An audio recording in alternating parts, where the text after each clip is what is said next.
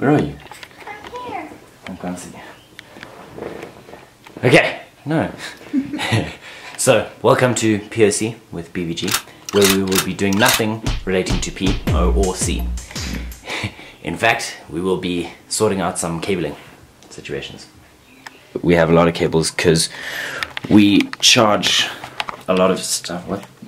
Super confusing. We charge a lot of stuff on a daily basis, some once every two days or three days, such as the power bank but we charge a lot of devices and that cable mess is terrible. So what we're going to do is try and put all of this into a drawer. So first of all, I found a multi-plug that I could unscrew. Don't know. That's why. There we go. Ha! You see the screws. So we can undo this one and as such I added I think about 10 meters of cabling onto that because we're going to use it to make an extra extension cord at a later juncture. Um, and then I'm going to attach that into said drawer, the top drawer of that. And for placement, I've already taken a photocopy of the back of this so that I can stick it on here and draw accurately.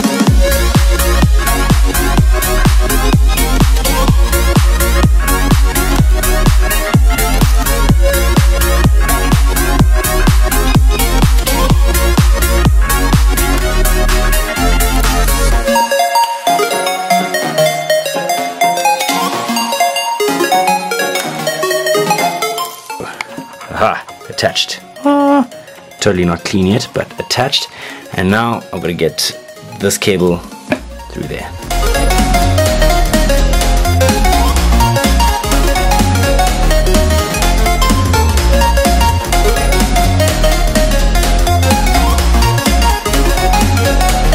What do you want to see?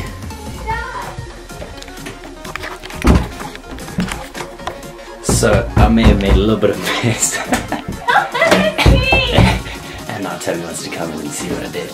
I've cleaned most of it up.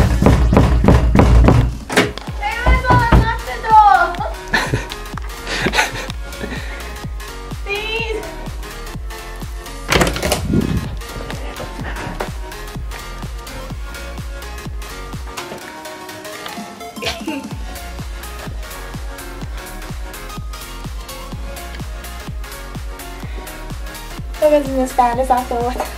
You see, I already cleaned most of it up. By blowing it onto the floor. Yay! I thought there was gonna be dust all over the bed, like a big pile of dust.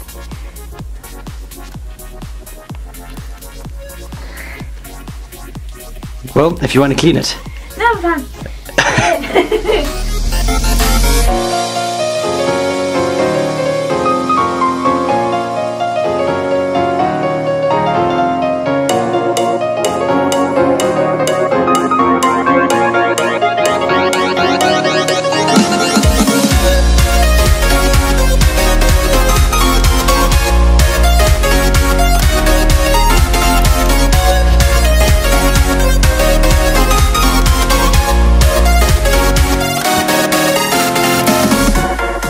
have a drawer that opens and has plugs in it.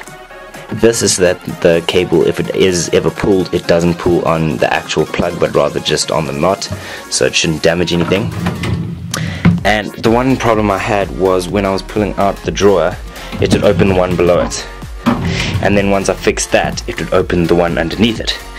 I have a hook over there, which you can see. Haha, success. Okay, so I have a hook over there and a hook up at the top.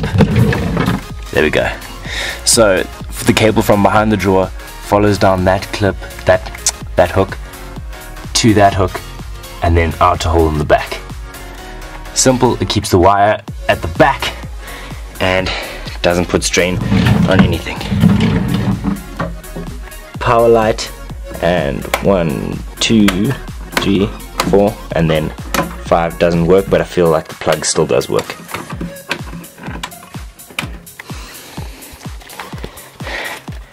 Okay, so now before I lose a girlfriend, I'm going to clean this room up a little bit. I have cleaned up and I still have a girlfriend, as you can see. Luckily.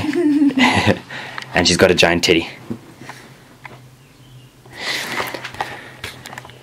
Okay, so I forgot what I was going to. Oh, yes.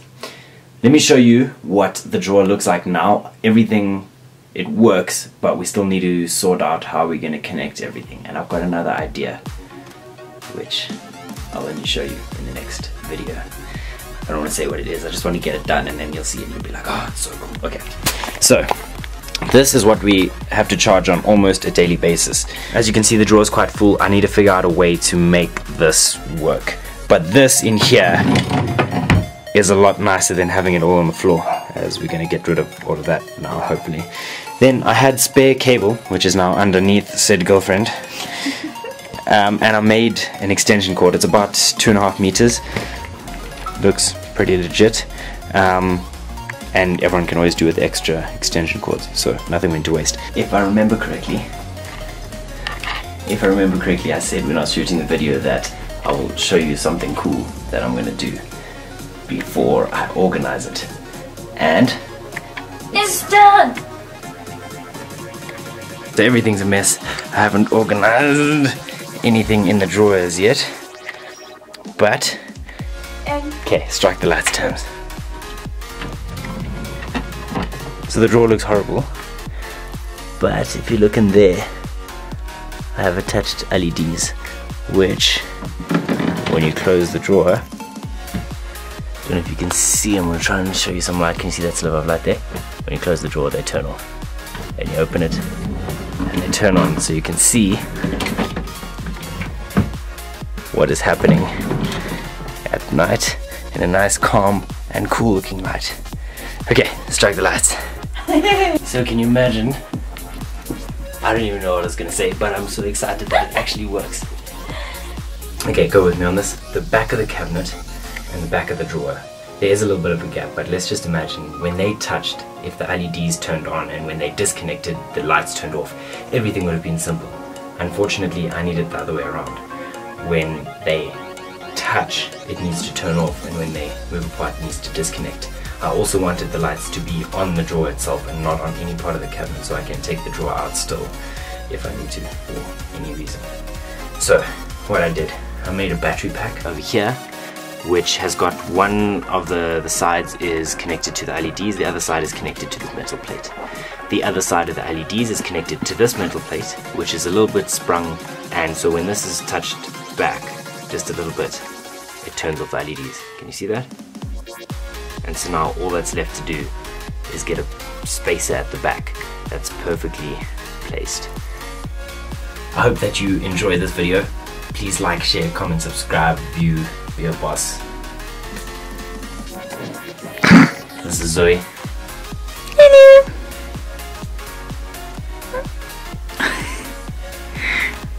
Zoe says subscribe.